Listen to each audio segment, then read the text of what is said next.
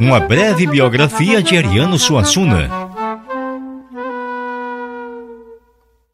Ariano Vilar Suassuna nasceu no Palácio da Redenção, em João Pessoa, quando a capital paraibana ainda se chamava Nossa Senhora das Neves, em 16 de junho de 1927. Filho de João Urbano Pessoa de Vasconcelos Suassuna, na época governador da Paraíba, e de Rita de Cássia Dantas Vilar, foi o oitavo dos nove filhos do casal. Passou os primeiros anos de sua infância na fazenda Cauã, no município de Souza, no sertão do estado. Durante a Revolução de 1930, seu pai, o ex-governador da Paraíba e então deputado federal, foi assassinado por motivos políticos no Rio de Janeiro. Em 1933, a família mudou-se para Taperoá, no sertão da Paraíba, onde Ariano iniciou seus estudos primários. Foi lá que ele teve os primeiros contatos com a cultura regional, assistindo às apresentações de mamulengos e os desafios de viola. Em 1938, a família mudou-se para a cidade do Recife, Pernambuco, onde Ariano fez a sua estreia na literatura nas páginas do Jornal do Comércio, com o poema Noturno. O ano era 1945. Em 1946, na capital pernambucana, fundou o Teatro do Estudante de Pernambuco, junto com o amigo Hermilo Borba Filho. No ano seguinte, escreveu sua primeira peça teatral, Uma Mulher Vestida de Sol, seguida de Cantam as Harpas de Sião e Os Homens de Barro. Em 1950, concluiu o curso de Direito, dedicou-se à advocacia e ao teatro.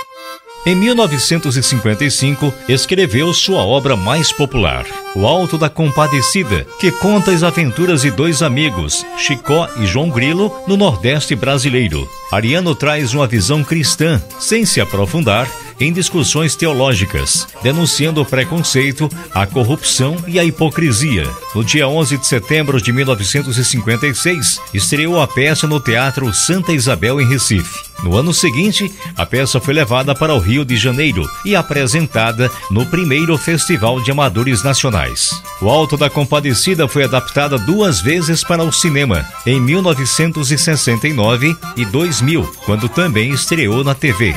Nesse mesmo ano, Ariano Suassuna passou a dar aulas de estética na Universidade Federal de Pernambuco e abandonou a advocacia. Em 1957, casou-se com Zélia de Andrade, com quem teve cinco filhos. Permaneceu como professor até 1994, quando se aposentou. Porém, em 2008, voltou a dar aulas na UFPE, no curso de letras, ministrando a cadeira de estética. Ariano Suassuna continuou criando, escrevendo peças de teatro, romances e poesias. O Santo e a Porca, Farsa da Boa Preguiça e Romance da Pedra do Reino e O Príncipe do Sangue do Vai e Vem são algumas das dezenas de obras dele. A maioria delas foi traduzida para outros idiomas. Em 1970, Ariano Suassuna criou e dirigiu o movimento Armorial, com o objetivo de realizar uma arte brasileira erudita a partir das raízes populares. Ariano Suassuna escreveu 15 livros entre romances e poesias e 18 peças de teatro. Em 1989, Ariano foi eleito para a Academia Brasileira de Letras. Em 1990, assumiu a cadeira de número 32. Em 1995, Ariano Suassuna Suassuna assume a Secretaria Estadual de Cultura de Pernambuco no governo de Miguel Arraes. As aulas e espetáculos se tornaram um projeto de governo para difundir no estado e no Brasil a cultura pernambucana. Ariano recebia inúmeros convites para realizar aulas e espetáculos em várias partes do país, onde com seu estilo próprio e seus causos imaginativos deixava o público encantado. Em 2017, Ariano Suassuna assumiu a Secretaria Especial de Cultura do estado